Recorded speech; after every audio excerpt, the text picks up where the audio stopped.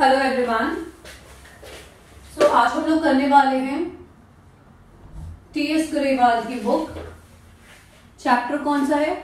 Accounting for not for profit organisation ठीक है? उसका question number five last lecture में हमने सीखा था कि रिसिप्ट पेमेंट अकाउंट कैसे बनाते हैं, उसमें क्या क्या चीज़ें डालते हैं। Basically receipt and payment account में क्या होता है कि जो कैश आया है, वो रिसीट साइड में होगा और जो कैश गया है, वो पेमेंट साइड में होगा। इतना ही हमें इस अकाउंट को बनाने में ध्यान रखना है। हमें कोई लॉजिक नहीं लगाना है कि कैपिटल नेचर का एक्सपेंडिचर है या रेवेन्यू नेचर का एक्सपेंडिचर है। या इनकम है। ठीक है? चाहे वो बड़ा खर्चा हो, चाहे छोटा खर्चा हो, चाहे पिछले साल का हो अगले साल का हो, अगर इस साल किया हुआ है तो हम यहाँ पर इसमें, इस अकाउंट में उसको एंटर करेंगे। ठीक है? तो क्वेश्चन नंबर फाइव कर रहे हैं हम लोग आज। लास्ट लेक्चर में मेरे पास पुरानी बुक थी, आज it's totally updated new edition so page number is 1.60 जो लेटेस्ट एडिशन है उस बुक का page number is 1.60 okay question number five है ये. इसमें आपको रिसीट एंड पेमेंट अकाउंट बनाना है not post not sports club का. ठीक है? तो अब देखना शुरू करते हैं. सबसे पहले दिया है ओपनिंग बैलेंस ओपनिंग बैलेंस तो ऑब्वियसली इस साइड में ही होता है। ठीक है? अच्छा ये डेबिट साइड है और ये क्रेडिट साइड भी है। रिसीट पेमेंट लिखने का ये मतलब नहीं कि डेबिट क्रेडिट नहीं है। ये डेबिट साइड है और ये क्रेडिट साइड ही है। ठीक है? तो opening balance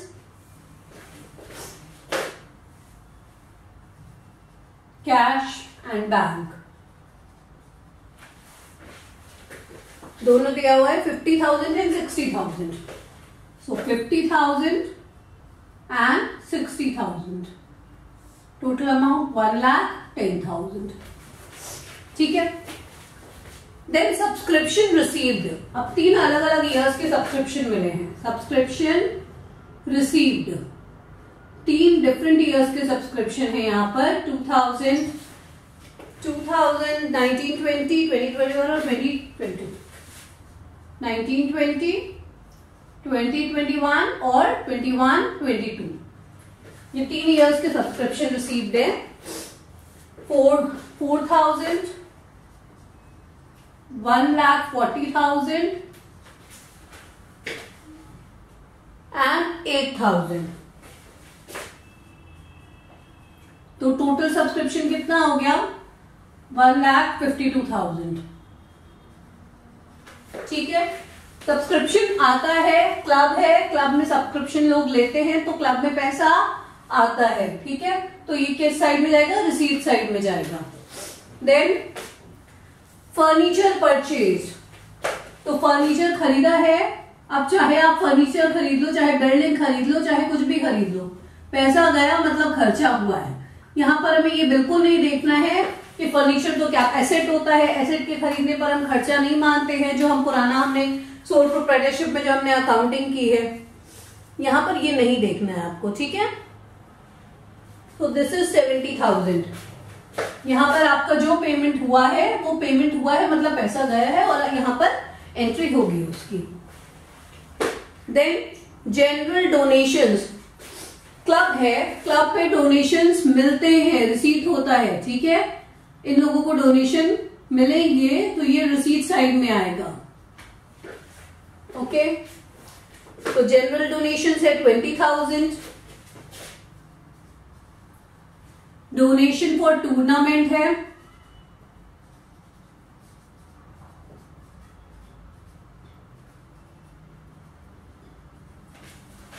donation for tournament है forty thousand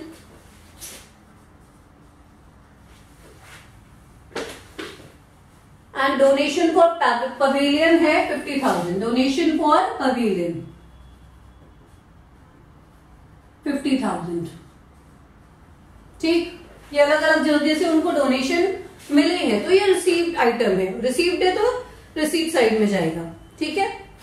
next charity given charity उन्होंने किया है तो पेमेंट हो गया ये। पैसा दिया है। ठीक है? तो charity ten thousand match expenses अब क्लब है स्पोर्ट्स क्लब है तो स्पोर्ट्स क्लब है तो कुछ ना कुछ मैच करवाते रहते होंगे। अब मैच करवाएँगे तो कुछ खर्चा भी आएगा।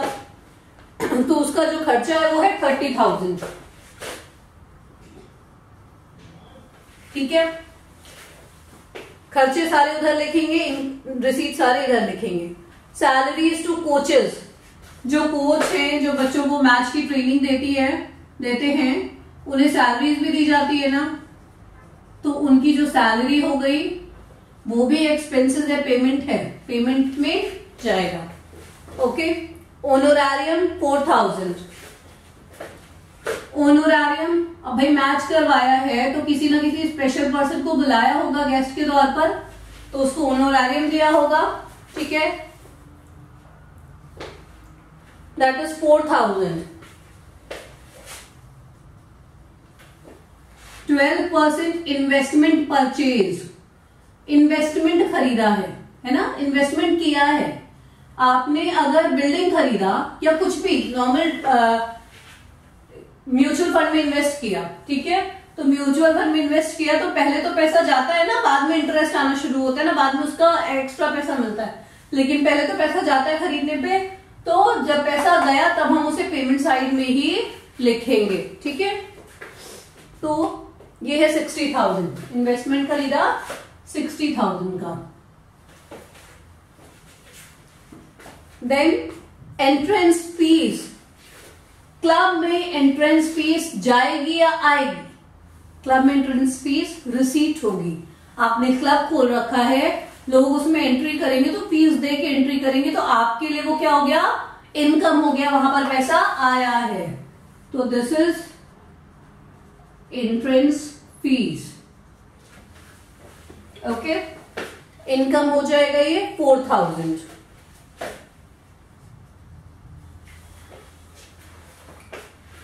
interest on twelve percent investment जो ये इन्वेस्टमेंट किया था उस पर इंटरेस्ट मिला है। अब यहाँ पे तो ये खर्चा था। लेकिन जो इंटरेस्ट मिला है, वो क्या है? वो इनकम है। तो रिसीट साइड में आ जाएगा, ठीक है? जो इंटरेस्ट आया है, वो तो इनकम हो गया ना? ये खर्चा था तो पेमेंट साइड में चला गया। और ये इंटरेस्ट मिला है तो रिसीट साइड में आ जाएगा। Six thousand okay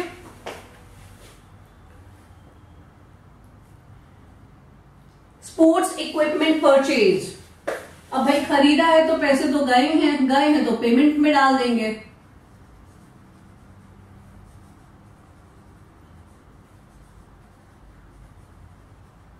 Okay sports equipment purchase fifty thousand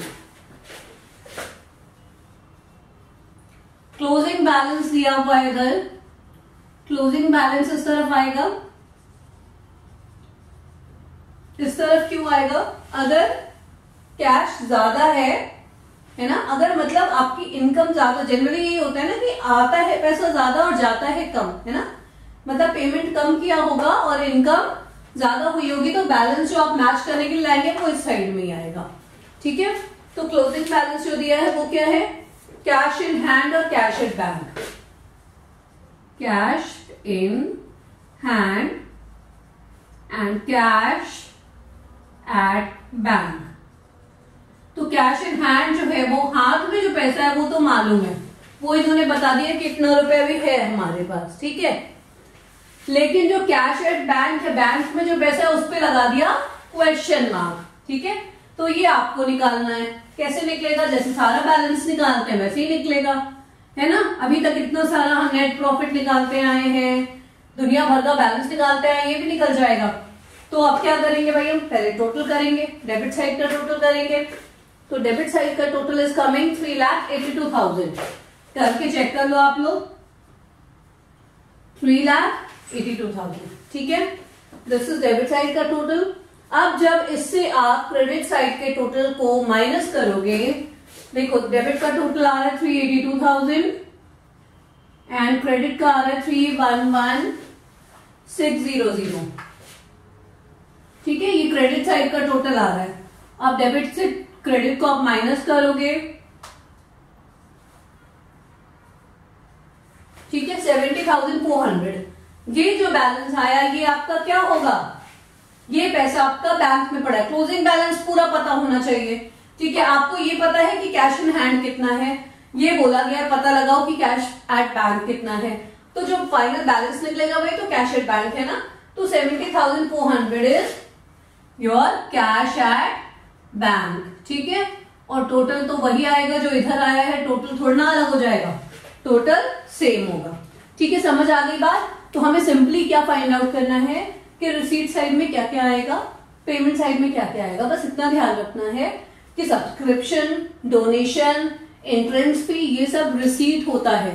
किसी भी एनजीओ में क्लब में, इन सब जगह पर ये सब इनकम है। ठीक है? क्योंकि हम जनरली क्या होता है एंट्रेंस फ़ी देखा तो ऐसा लगता है कि फ़ी है, हमने खर्चा किया होगा। बट ऐसा नहीं है, ठीक है? तो ये सारे रिसीट साइड और ये payment side receipt payment account बहुत ही सिंपल है। आपको कुछ भी दिमाग नहीं लगाना है। जैसे यहाँ पे तीन साल का सब्सक्रिप्शन लिया था तो हमें बिल्कुल नहीं देखना है कि हम सिर्फ़ करंट ईयर का सब्सक्रिप्शन डालें। रिसीट और पेमेंट अकाउंट में हमें ये नहीं देखना है। जब हम आगे इनकम एक्सपेंडिचर बनाएँगे, उसमें देखना है हमें। उसमें फोकस करना है कि करंट ईयर का ही डालना है। लेकिन अभी यहाँ पर अगर ये तीनों साल का सब्सक्रिप्शन अभी आ गया है तो हम अभी डालेंगे। भाई, इस साल आया है तो इस साल डालेंगे, चाहे वो पिछले पाँच साल का आ गया हो, है ना? तो हम सब कुछ, जो भी कैश इन आया है, वो सारा कुछ रिसीट साइड में जाएगा। चाहे वो आज का हो, कल का हो, परसों का हो, पिछले दस साल का हो, कभी का भी हो ओके फर्नीचर परचेज करो बिल्डिंग परचेज करो, कुछ भी खरीदो।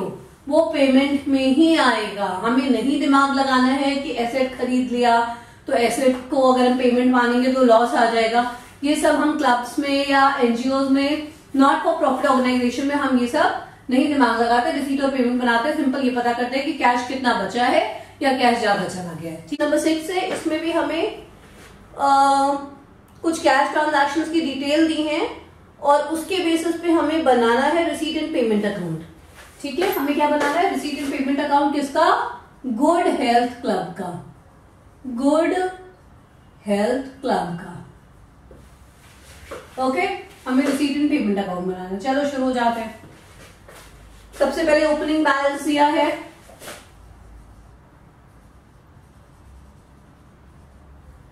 Cash and bank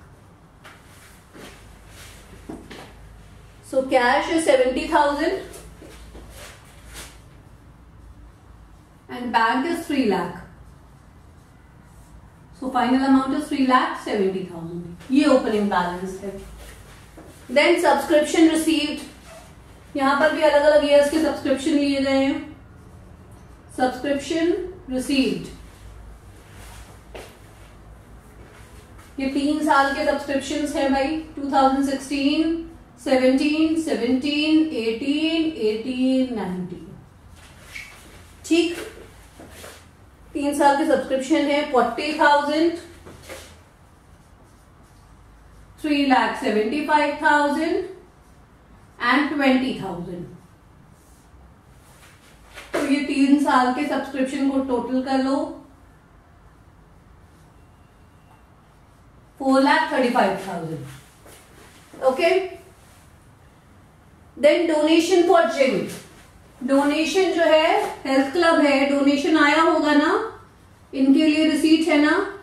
तो donation for gym is receipt side okay one lakh sixty four thousand okay then admission fees भाई लोग जब हेल्थ क्लब में एडमिशन लेने आएँगे तो वो फ़ीस देंगे ना। तो लोगों का खर्चा है ना। क्लब का तो इनकम है। तो क्लब के लिए कहा जाएगा? रिसीट साइड में। ठीक है? Fourteen thousand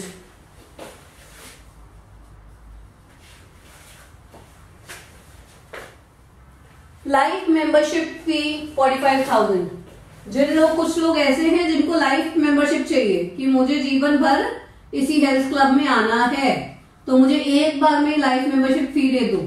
क्योंकि जनरली लाइफ मेंबरशिप पे क्या होता है, कुछ ना कुछ डिस्काउंट होता है, कुछ स्पेशल ऑफर्स होते हैं तो लोगों ने सोचा भाई एक बार में ही हम लाइफ मेंबरशिप ले लेते हैं, ठीक है? तो लाइफ मेंबरशिप ले ली इन लोगों ने, कितना रुपए देके फोर्टी फाइव थाउज़ेंड देके तो ये लोगों ने पैसे दिए हैं क्लब के पास पैसे आए हैं क्लब का इनकम है रिसीट साइड में आएगा।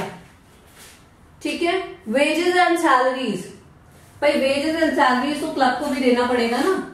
जो एम्प्लॉयज़ काम कर रहे होंगे, उनको वेजेस एंड सैलरीज दिया होगा ना, ये तो खर्चा है। ठीक है? वेजेस भी ना लेंगे क्लब वाले। तो this is fifty five thousand okay then locker rent locker rent is eleven thousand locker rent क्या है भाई? खर्चा है क्या है? रेंट लग, देख के लग रहा है कि खर्चा है ना? बट ये क्लब है। क्लब में जो आएगा कुछ सामान लेकर आएगा ठीक है? मान लो उसके पास बहुत सारे सामान है। तो क्लब ने ऑफ़र कर दिया कि भाई हमारा लॉकर है। आप इसको यूज़ कर सकते हो अपने सामान को सेफ़ रखो till the time you're in club और उसका आप रेंट पे कर दिया करो। तो वो लॉकर रेंट है तो वो क्लब के लिए इनकम हो गया है ना? ठीक वैसे ही जैसे स्कूल्स में स्कूल वाले बोलते हैं भाई कि आप कॉपी भी यहीं से ले लो बुक्स भी यहीं से ले लो, सब कुछ ले लो तो वो स्कूल के लिए क्या है? इनकम है okay then invested in nine percent debentures of X Y limited अब किसी डिवेंचर में इन्वेस्ट किया है, भाई इन्वेस्ट किया है तो आपने पैसा तो दिया ही होगा ना। इस क्लब ने अगर इन्वेस्ट किया है तो पैसा दिया होगा। ठीक है? भले उसके बदले बाद में इंटरेस्ट मिले, लेकिन फ़िलहाल तो पैसा दिया है, ठीक है? That is two lakh forty thousand और राइट देन हेल्थ जर्नल्स तो जो हेल्थ जर्नल्स है, भाई हेल्थ क्लब है, इसको आपको हमेशा इसे समझना है। हेल्थ क्लब है तो हेल्थ क्लब को अपने पास हेल्थ जर्नल रखने पड़ेंगे। आएँगे लोग, देखेंगे जर्नल्स ना तो क्या होगा? वो जर्नल का पे उनका खर्चा होगा, इसलिए ये जर्नल इनका पेमेंट साइड में आएगा। ठीक है? इनके पास अगर जर्नल जर्नल्स छपते हैं पब्लिश होते हैं, उसमें खर्चा होगा इनका। So health journal is five thousand then stationery stationery भी खर्चा है। बेसिक स्टेशनरी तो कहीं पे भी काम के लिए चाहिए होता है ना? तो stationery is also an expense and stationery is twelve thousand five hundred okay then insurance premium कुछ इंश्योरेंस करा रखा है हेल्थ क्लब ने तो उसका प्रीमियम देना पड़ रहा है। अब देना पड़ रहा है तो मतलब पेमेंट हो रहा है। सिंपल अगर कुछ भी देना पड़ रहा है तो उसका मतलब पेमेंट हो रहा है। ठीक है? This was the amount six seven six zero courier charges दुनिया भर के लोगों को मैगजीन भेज रहे हैं हम कुरियर करके अपना प्रमोशन करने के लिए कि भाई प्रमोशन के लिए नहीं, लेकिन जो आपके मेंबर्स हैं, जिन्होंने मेंबरशिप ले रखी है, उनको आपको चीज़ें भेजनी होती ना कुरियर से तो उसके भी चार्जेस आएँगे तो वो क्या हो गया? खर्चा हो गया। म्यूनिसिपल टैक्सेस ये तो सबको ही देना पड़ता है। So nobody could escape it ये टैक्सेस हैं। और right amount is nine five seven zero